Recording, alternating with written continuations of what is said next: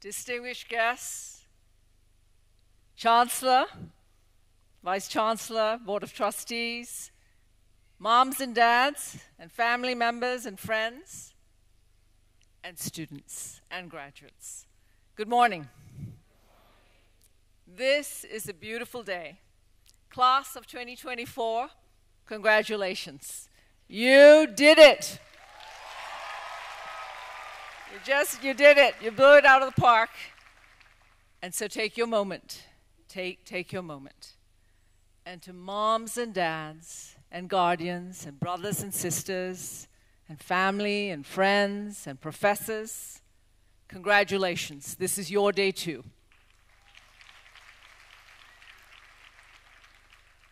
This graduating class represents the beauty and the diversity of the world.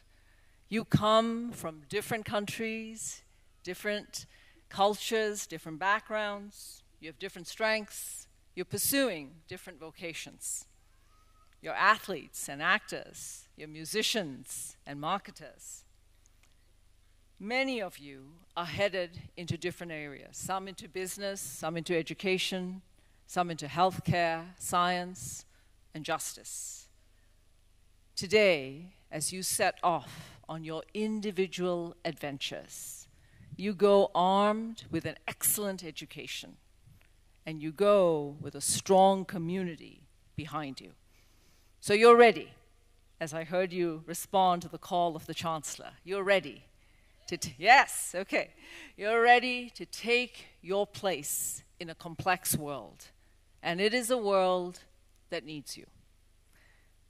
This is also a world that faces many challenges, and you have read the headlines. There's war, disease, all manner of humanitarian crises, climate change, disinformation, inequity. But I also want you to know that this is a wonderful world, and this is an incredible time for you to be in this world. This is a time of immense scientific discovery incredible technological breakthroughs, innovation, new tools to reduce poverty, to increase food security, and to heal our planet. And it is a time we've been waiting for, a time for leadership that is a force for good.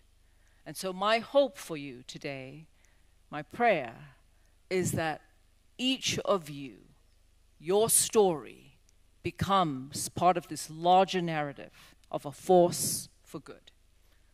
So, how do you do that? And I'm going to offer you three principles to think about and to take away. The first is to seize small beginnings. The second is to build and nurture community around you.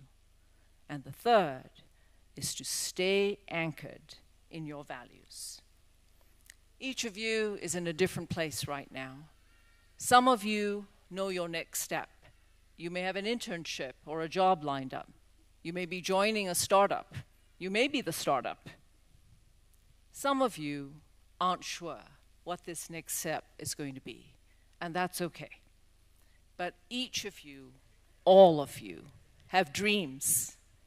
You have dreams, you have ambitions, you have plans to build a career, save, to invest, and to give back to your communities. From my experience, the road ahead is rarely a straight one. But I've learned the value of staying hopeful and seizing small beginnings. For me, the day after graduation was daunting. I had big dreams to work in global diplomacy, to be a peace builder, to broker solutions to conflict. But as I started applying for jobs, I faced rejection after rejection. It was hard. It was humbling. Eventually, after knocking on a lot of doors and sitting through a lot of interviews, I landed my first job. And I gave it my all. It was not exactly what I had envisioned. But it was a great classroom. It exposed me to new worlds, to new people. It gave me new skills. And while it was not the job for me, I learned a lot about working with others and I learned about myself. In my next role, a global healthcare company hired me. I didn't have all the qualifications for the role, but the hiring manager who interviewed me took a bet on me. She said, I know you're smart, but now you're going to have to learn what you don't know. So just start by listening.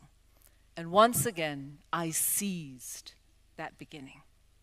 This job took me around the world, grappling with issues about the role of the private sector, issues of ethics, issues around social change. I could not have anticipated that a healthcare company would be the best place to hone my early instincts for public service, that it would be the best preparation for what I do today. I share this because we don't always start where we want to, but where we start will prepare us for the journey ahead. So, whatever tomorrow brings, don't be discouraged. Stay hopeful and seize small beginnings. The journey will be easier if others are beside you.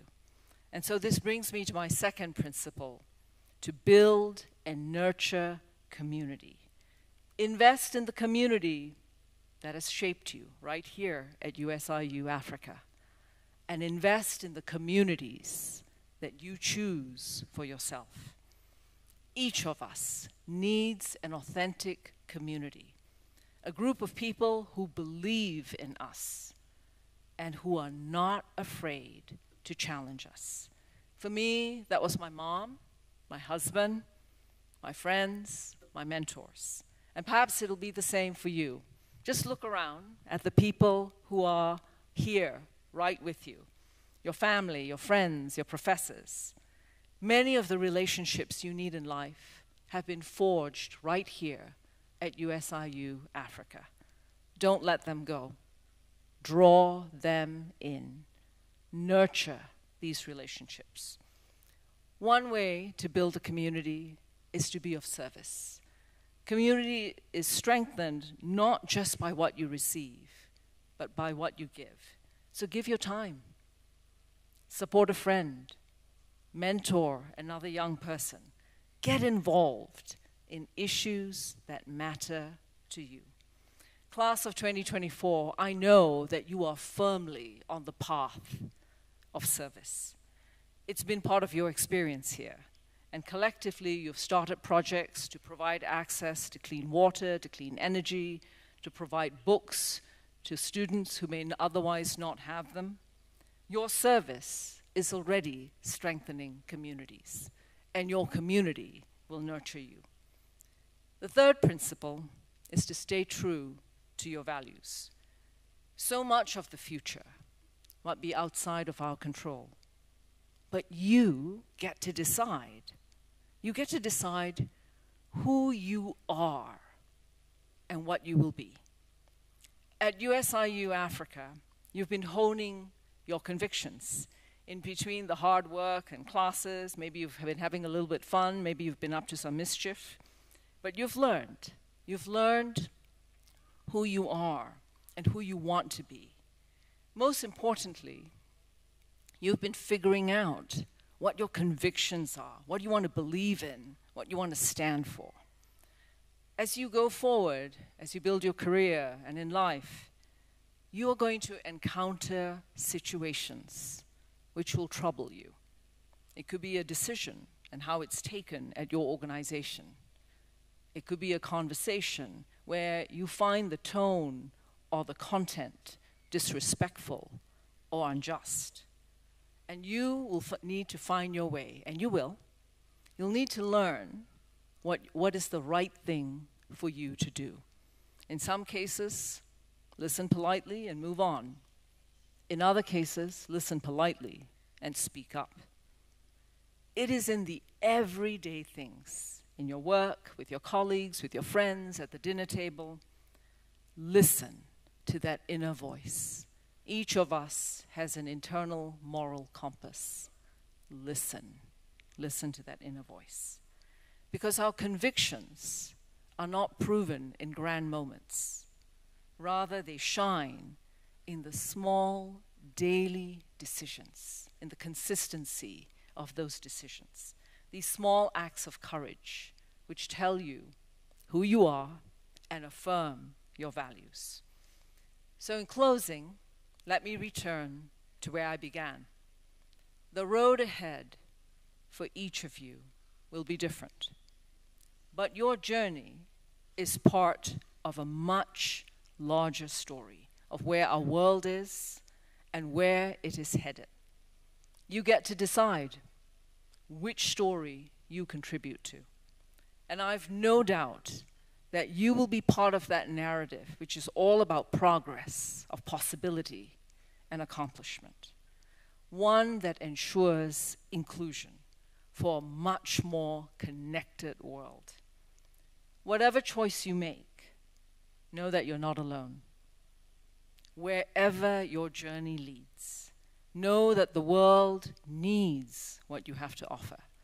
Yes, your skills and your knowledge, but also your optimism, your creativity, your compassion. These are all the ingredients which make communities richer, which makes our lives much more meaningful, and which make our world stronger, fairer, and better. So, class, congratulations. I'm very excited for you, and I know I speak for all of us that we can't wait to see what you accomplish next. Thank you.